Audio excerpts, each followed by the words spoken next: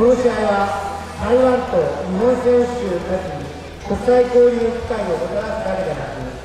若者の野球に対する情熱をかきたて野球ファンの皆様もチャレンジャー精神を持ってそれぞれの道を極め続けてもらうきっかけになれば嬉しく思います。それでは一緒に台湾と日本の選手を応援しましょう。